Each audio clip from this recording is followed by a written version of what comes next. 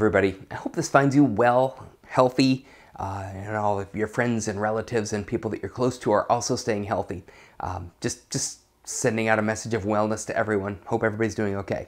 I'm gonna jump right into a topic, and it's a huge one. I'm not gonna lie, I've started this video a couple of different times and found that I end up kind of circling back around and kind of running into a brick wall with it. So I'm just going to plow forward and just kind of, this is going to be kind of an, an, information dump video. Lots of stuff. A little caveat ahead of time, and then I'll try not to mention it again, is that you're going to have slightly different terms for any different camera body.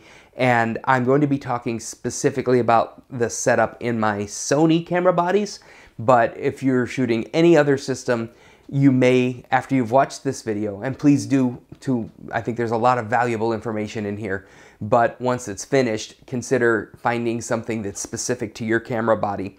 Or perhaps even best, it'd be to go to your owner's manual and for your camera and actually delve into your focus system. And I just gave away the topic, which is focus. So I don't think it's possible to overstate how important understanding your focus system is.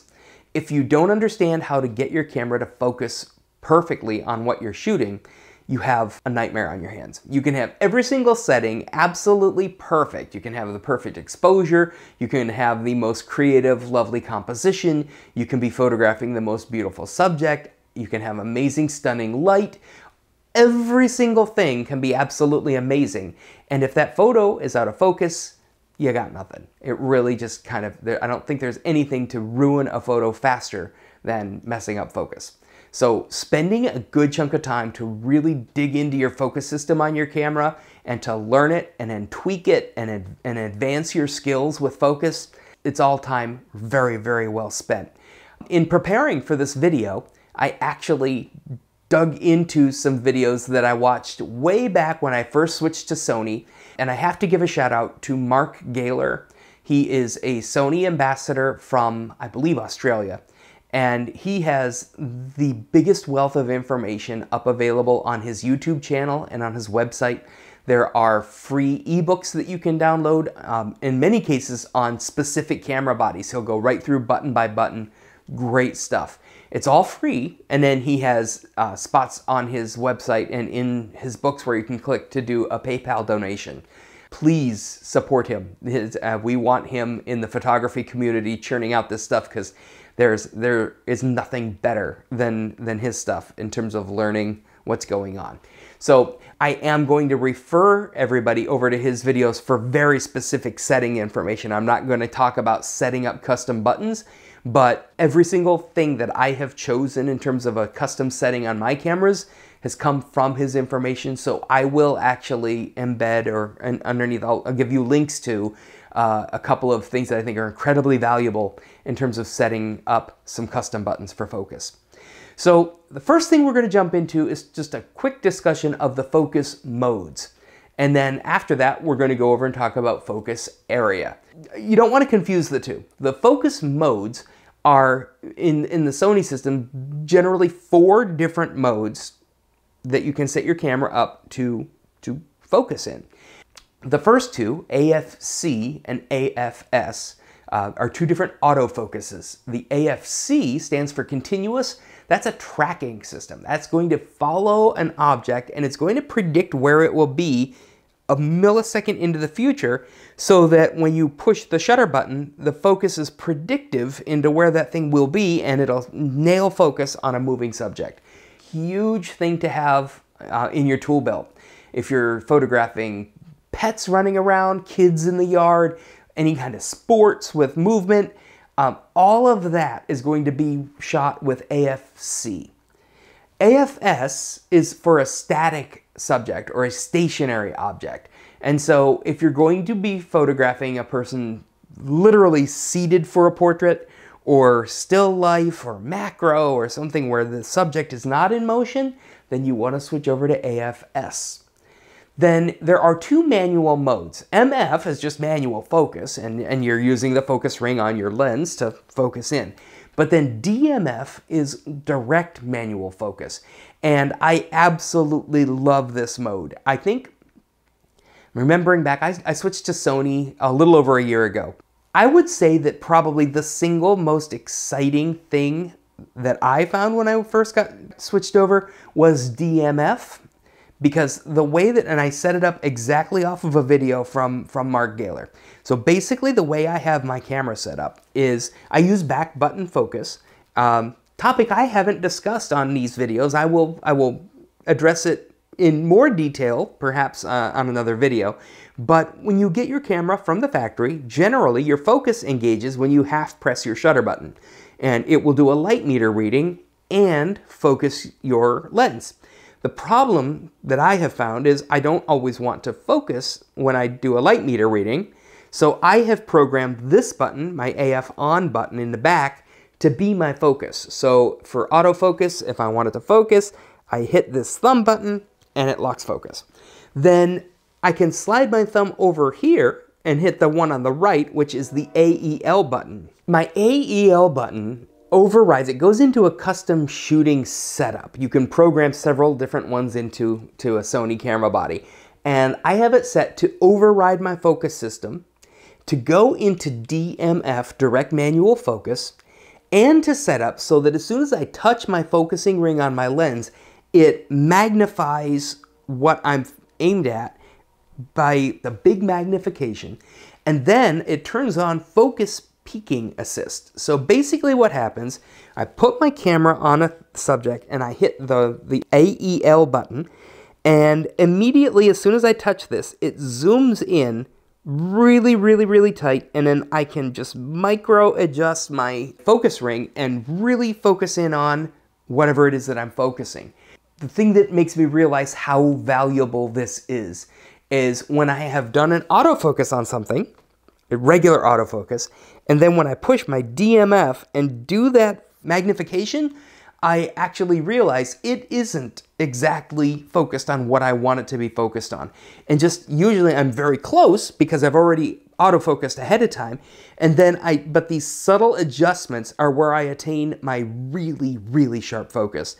And so it's a huge one-two punch in terms of attaining focus. And, and I highly recommend that setup. And, and I will, like I said, put links into Mark Galer's you know, button by button, menu item by menu item explanation of how to set that up. All right, let's go over to the other thing that we want to talk about, which is your focus area.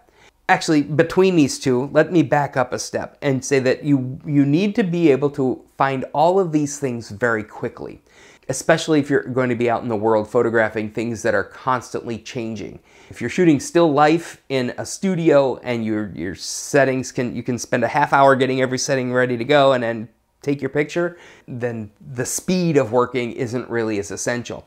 But when you're out in the world and that moment is fleeting and going by, you need to find it quickly.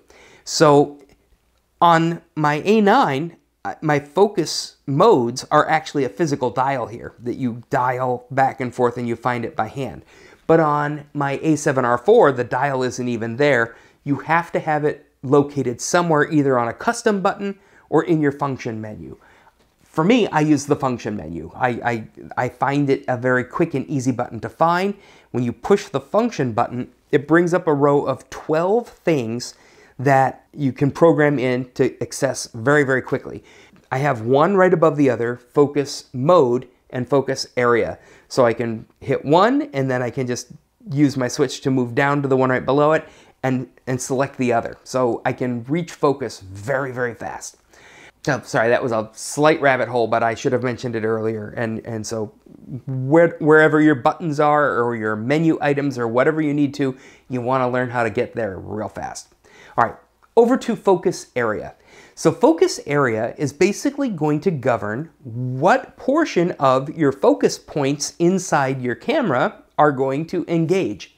So wide would engage all of them. And so in, in the case of the A9, that's a, a 693 focus points. They all engage, and then the processor inside the camera is going to determine what it thinks the subject is, and it's going to focus on it. And they use um, a, a, I mean, it's a complex algorithm in there as far as what's going on inside the camera. But one of the big factors is the, the closeness to the lens. It's going to assume that you're trying to focus on the thing closest to the lens when you're in wide mode. Um, and if that's the case, if you're focusing on a football game or a soccer game and you want to always focus on the player that's closest to your lens, that works great.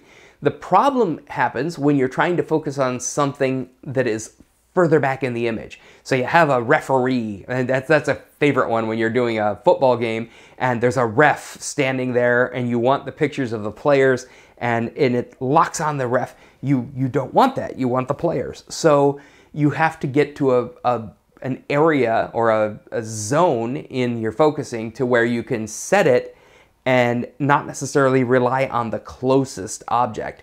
And that's when you go into a zone uh, focus area. And the zone focus area in pretty much any camera is going to move around. You can pick which area of your screen is going to focus, and you can work around objects that are closer to you that you don't want to focus on. Then beyond that, you can shrink down to an even smaller, uh, either a spot uh, or an expanded spot, which will be just like maybe one pixel or maybe a little group of nine and, and focus on much, much smaller areas. So each one of those focus areas is going to give you more fine tuning on focus, but there's also a little bit more lag in terms of you need to put the, the, the pixel right where you want it. And, and so it's gonna be situational and you'll wanna figure out for you what works the best. One of the nice things on, on a lot of the menus is there's a lot of customizability. So you can actually remove some of the focus areas so that you, instead of having all of these different options, you can just have your three favorites come up or your or, or whatever ones that you really like using, which I really, um, I've done that. I've removed some of the stuff that I don't use so much. Another mode that, or another area, sorry, that works very, very well is to have autofocus lock. And when you're, again, let's go back to the sports analogy. If, if you're using autofocus lock, you're basically identifying a, a, subject and saying, that is my subject. And if that person weaves in front of somebody else or then goes behind somebody else and moves all around, it's going to stay focused on them. And you can go in and adjust essentially how sticky that lock on is going to be. You can, uh, I think both with Canon and Sony, it's basically like a five five level adjustment. On level one, it doesn't stay stuck on that subject very long. It will stay for a little bit and then pretty soon it'll just jump up to something closer in front and, and move on to a new subject. But by the time you go to number five, it's going to remain very, very sticky on that subject and it will stay on that while it while they move behind an obstruction and then when they come out the other side of the uh, obstruction they're still in focus. I personally like to use that very sticky setting. I usually go all the way to either four or five in terms of level of stickiness, uh, just for, for the stuff that I shoot and basically how I want it to, to function. Another very important thing to talk about is that on the Sony cameras, you have face priority, where it's actually going to seek out human faces. And that's awesome if you want to focus on human faces. But let's use the example of maybe a NASCAR race. You're shooting at a race and you want to actually focus on the cars. If you have face priority turned on, it's going to actually seek out faces and focus on them when you don't want it to. So another real strong suggestion is in that function menu, have the ability to turn face priority on and off. And the same thing with eye autofocus. So eye autofocus is the same deal, only even more specific. It's going to try to find an eye and focus on it. And if your goal is to have a very sharp photo of a horse, then and it's set on a human eye, um, it, you're you're you're fighting against your built-in computer system in the camera. Now there is an animal eye AF in many of the Sony camera bodies, so you'll want to be able to toggle back and forth between those. Uh, if you shoot a lot of pets or animals, you might even want to make that animal IF, uh, IAF your, your main priority setting. I have IAF programmed to my button on the sides of my lenses. I use G Master lenses and almost all of my lenses have these buttons on them. Now, all of these buttons, I have three on this particular lens. They all do the same thing. So if I go to portrait orientation, I can hit this button right here. If I go back to landscape, I can hit this button here. You can always just grab one. And, and for me, it's been my, my preference is to have it actually lock an IAF um, and I think I really like that most because I shoot a lot of weddings. And, and for me, it's just nice to just hit the thumb and have an eye go on, on in focus and take my shot. So yeah, I think that's basically the nuts and bolts of it. Um, it's impossible from a video to get everything that you would need in order to be good at focus. It, it's like everything else takes practice, and it's going to take a decent amount of it. Um, the the one thing that I didn't mention that um, that is another thing that you're going to want to work on is finding the ability to shoot through a very very cluttered field of things to focus on something further back. And the thing that I'm thinking of as an example is actually uh, a bird that's sitting in a bunch of trees and you have all the branches all over the place and you don't want to focus on you know this ton of branches you want to get through there and focus on a bird which is further back and for that, I use spot and, and a, like a single pixel. And you, you want to get that pixel right over top of the bird and then engage your autofocus and, and it will focus right on that bird. And the way that I do that an awful lot of the time is I will hit my main spot autofocus and, and hit my main back button focus to get that. And then once I've gotten there, I switch over to my uh, DMF which is my other focus button, and just do a real quick little minute adjustment to make sure that it's exactly where I want it. And I try to get the eyeball of, of the subject and the face to be in focus and take my shot. So, all right, I think that's basically it. I know that it's a huge topic, and I'm sure that the, no matter how well I have done here, you will still have questions, and that is good. That's a great thing. Um, so go ahead and dig into your, uh, into your manual or into some other videos and then get your camera and go out and practice focusing on things.